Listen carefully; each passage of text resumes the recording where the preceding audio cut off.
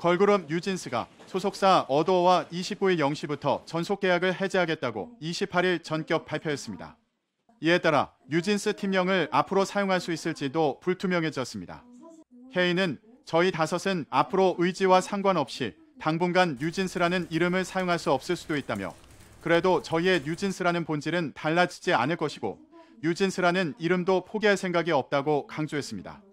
다니엘은 뉴진스라는 이름을 위해 싸우겠다며 이름이 어떻게 되든 뉴진스 never die라고 덧붙였습니다.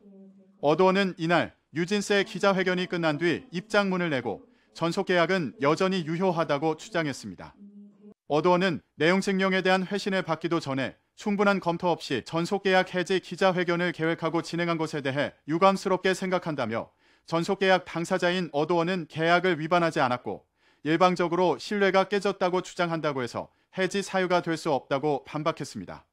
어도어는 그러면서 어도어와 뉴진스 멤버들 간에 체결된 전속 계약은 여전히 유효하다며 따라서 향후 일정도 지금까지와 마찬가지로 어도어와 함께 해주기를 바란다고 덧붙였습니다.